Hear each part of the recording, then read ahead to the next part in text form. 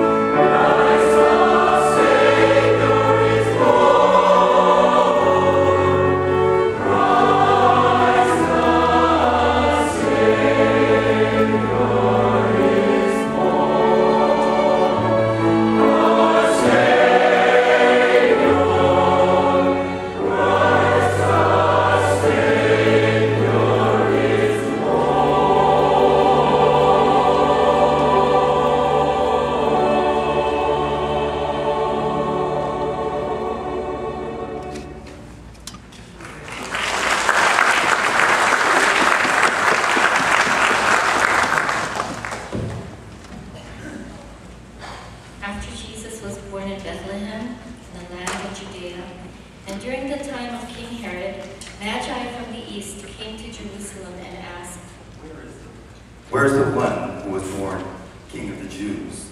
We have seen the star in the east and have come to worship him. Herod determined the exact time the star had appeared and sent them to Bethlehem to make a search for the child. They were instructed to find the baby and report back to Herod so he too could go and worship him. After speaking with King Herod, the Magi went on their way, following the star, until it stopped over the place where the child lay. Seeing the child with his mother, Mary, they bowed down and worshipped him, offering up their gifts